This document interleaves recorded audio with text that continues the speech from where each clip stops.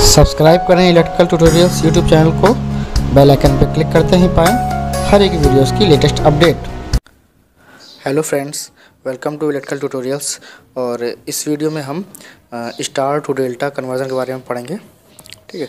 तो जैसा कि आप देख रहे हैं, यहाँ सर्किट बना हुआ है, एक ये डेल्टा है और इसको हमें स्टार में कन्वर्ट करना है। ठीक है? देखिए, ये रेजिस्टेंस आर वन ले लिया ये आर टू, ये आर थ्री। डेल्टा में स्टार में ये R R A R B और आर सी हो गया। ठीक है? अब हम इस पॉइंट को मान लेते हैं वन, इसको ले लेते हैं टू, इसको ले लेते हैं थ्री।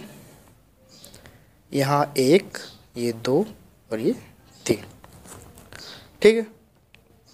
तो देखिए, इसको हम पूरा डिराइव करेंगे कि कैसे इसका फार्मूला जो निकलता है। आप लोगों ने सोचता है कि फार्मूला पढ़ा भी हो कि अगर डेल्टा है सर्किट है, उसको स्टार में कन्वर्ट करना है तो उसका फार्मूला क्या होता है?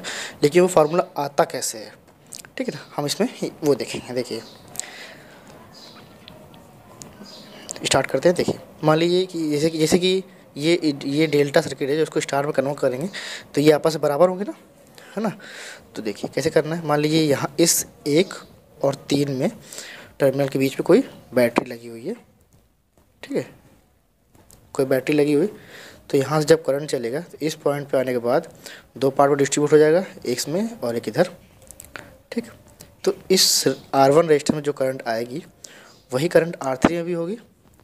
इसका मतलब आर वन और आर थ्री ये दोनों सीरीज़ में होंगे। है ना? जब ये सीरीज़ में होंगे तो सर्किट कुछ इस तरह से बन जाएगा। देखिए, मैं बना देता हूँ यहाँ।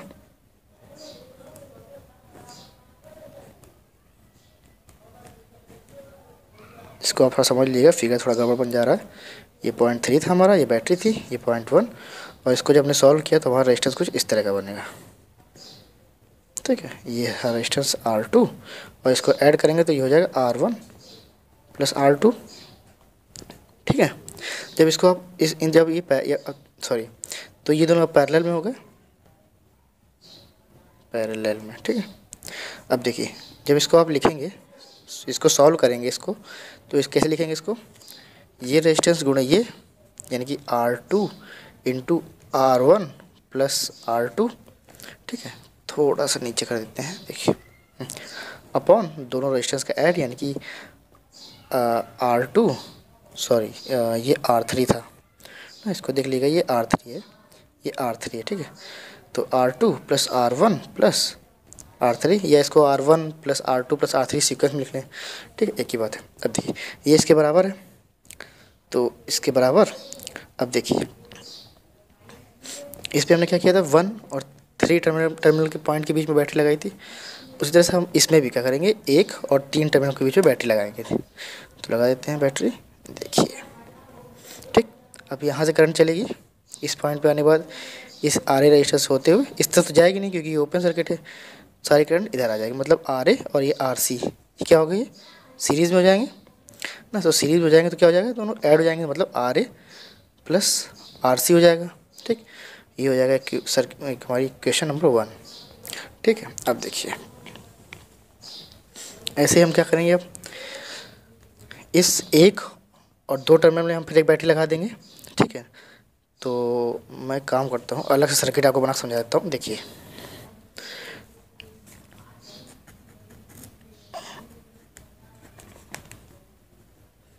मैं, ये मैं आपको समझाने के लिए बता रहा हूँ। ये ये था ये था आर टू ये था आर वन और ये था आर थ्री हमने यहाँ पे बैटरी लगाई थी, अब हम इसमें वन और टू में बैटरी लगाएँगे। वन और टू के बीच में लगाया बैटरी तो ऐसे कुछ ऐसे। इधर से करंट आएगी हमारी, इस पॉइंट पे आने के बाद डिस्ट्रीब्यूट हो जाएगी, एक यहाँ एक यहाँ, ठीक है। इस R three R three resistance से करंट होते हुए आर टू में आएगी मतलब आर टू यहाँ पर आर टू और आर थ्री सीरीज़ में हो जाएँगे। जब R two R three series में तो क्या हो जाएगी? R two plus R three हो जाएगा। अब ये R two plus R three resistance और ये आर वन रेजिस्टेंस ये पैरल में हो जाएँगे, है ना? मतलब ये आर वन रेजिस्टेंस पैरल हो जाएगा किसके? R two plus R three के। देखिए थोड़ा सा इसको। ये देखिए, ठीक है? तो इसको जब आप इसको लिखेंगे, कैसे लिखेंगे? देखिए। आर वन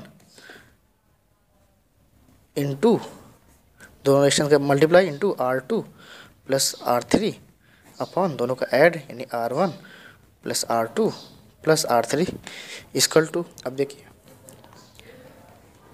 पहले हमने क्या किया था? ये यहाँ पे वन और थ्री में लगाया था तो यहाँ वन और थ्री में लगाया था। सेकंड स्टेप में क्या किया? वन और टू के बीच में लगाया।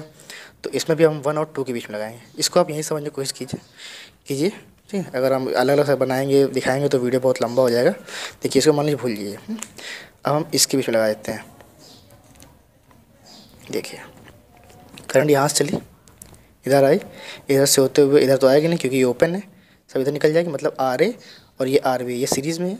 सीरीज़ में है मतलब ये ऐड हो जाएगा मतलब क्या? R A plus R B ये हमारी सॉरी ये R A plus R B ये क्वेश्चन नंबर टू हो जाएगी। ठीक है ना? अब देखिए। अब क्या करेंगे? वन और थ्री में हो गया, के बीच में हो गया। वन और टू के बीच में हो गया। क्या बचा? टू और थ्री के बीच में। टू और थ्री बीच में लगाएँगे तो कैसे बनेगा? देखिए, इसका भी मैं अलग समझा देता हूँ। इसी देखिए इधर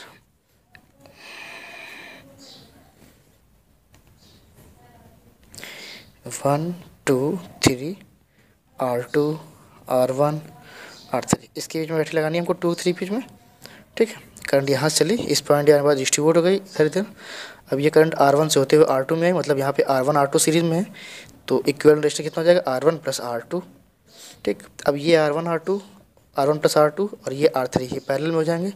यानी कि R three parallel R one plus R two हो जाएगा।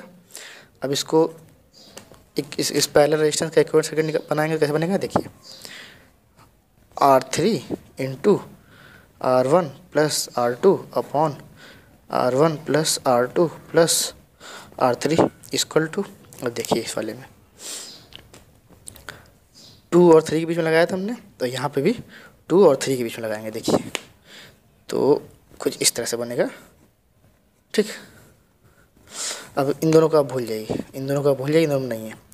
तो यहाँ से करंट चली, इससे आई और इस पर होते इधर ओपन है ये वाला ओपन हो गया। इससे निकल गई मतलब यहाँ पे आर, सॉरी, आर बी और आर सी ये सीरीज़ में है तो क्या होगा, R B plus R C हो जाएगा सीरीज़ में। दोनों रजिस्टर ऐड हो जाएँगे तो देखिए। हमारा क्या होगा, R B plus R C. ये हो गए हमारे तीन इक्वेशन, ठीक है? अब इसे आपको सॉल्व करके क्या निकालना है देखिए, इसको इसमें कन्वर्ट करना था, डेल्टा को स्टार में। मतलब हमको यहाँ पे आर ए की, आर बी की और आर सी की वैल्यू फाइंड करनी है। तभी तो स्टार में कन्वर्ट हो गए, ठीक है? तो हमको इन तीनों समीकरण के through R A, R B और आर सी की वैल्यू फाइंड करनी है, ठीक है? तो देखिए तो सबसे पहले हम क्या करेंगे? इक्वेशन वन और इक्वेशन थ्री को हम माइनस कर देंगे। देखिए equation one minus equation three sorry three minus करेंगे तो क्या बनेगा? देखिए, हम डायरेक्ट मल्टीप्लाई करके लिख रहे हैं आर टू का आर टू का अंदर मल्टीप्लाई करके लिख रहे हैं। देखिए कैसे होगा। ये R A plus R C होगा, यानी आर ए सॉरी देखिए R A plus R C minus third का R B plus R C R B plus R C equal to, देखिए, पहले से क्या था, R two, R one plus R three, R two के अंदर multiply करके लिखेंगे तो क्या होगा? आर वन, आर टू हो जाएगा, है ना? तो ये हो गया R one, R two plus R two, R three upon R R two plus R one plus R three, इसको सीक्वेंस में लिख दें तो R one plus R two plus R three, यानी कि R one plus R two plus R three हो जाएगा। Minus, इसको हम ब्रैकेट में लिख लें। ठीक है? ठीक है तो माइनस ब्रैकेट लगाया इधर। इसमें क्या होगा? आर थ्री में देखिए यहाँ क्या है। देखिए आर थ्री में। आर थ्री के अंदर मल्टीप्लाई कर देंगे तो क्या हो जाएगा? R three, R one plus R three, R two, है ना? अपॉन में क्या है? R one plus R two plus R three. ठीक है, इसको ठीक से देख लेते हैं। थोड़ी सी प्रॉब्लम क्रिएट हो रही है। थोड़ा आप लोग देख लीजिएगा। मैं कोशिश कर रहा हूँ आप लोग सब कुछ दिखाई दे साफ़ साफ़ देखिए, जब इसको आप सॉल्व करिए, है ना तो क्या होगा? R A plus R C minus open होगा। Minus R B minus R C ये इससे कट जाएगा, ठीक है? इस तरफ़ आइए तो R one R two plus R two R three sorry ये एल सी एम ले रहे हैं ना, ठीक है? तो एल सी एम लेंगे, नीचे क्या आ जाएगा? R one plus R two plus R three ठीक है? फिर R one R one R two plus R two R three minus bracket open हो जाएगा तो अंदर के साइन चेंज हो जाएँगे R three R one minus R three R two ठीक है? अब यहाँ पे देखिए, ये आर टू आर थ्री और ये आर थ्री कट जाएगा। तो क्या बचा हमारा? R A minus R B equal to R one R two minus R three R one है ना? Upon R one plus R two plus R three ठीक है, ये हो जाएगा हमारी क्वेश्चन नंबर फोर ठीक है, अब देखिए। अब हम क्या करेंगे? इक्वेशन नंबर देखिए, ये है हमारी क्वेश्चन नंबर टू और ये हमारी क्वेश्चन नंबर जो आई है फोर है ना? इन दोनों को हम क्या करेंगे? ऐड कर देंगे, ठीक है? देखिए। देखिए equation two plus equation four, ठीक है? अब इक्वेशन फोर क्या है पहले देख लेते हैं हम।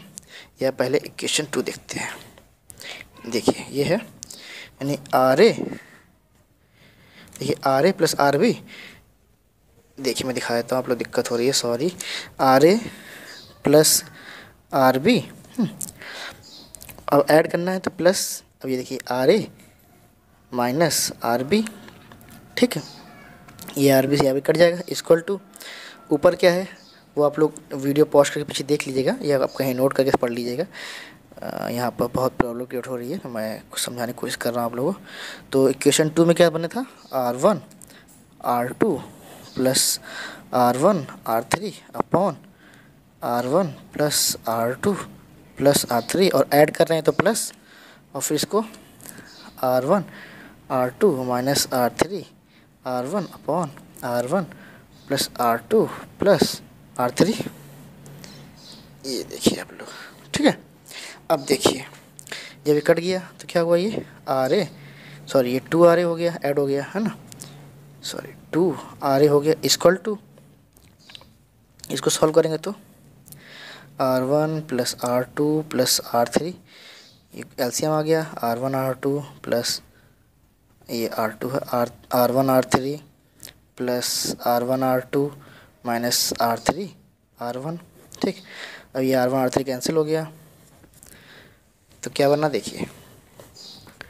ये हो गया two R A equal to two R one, R two upon R one plus R two plus R three.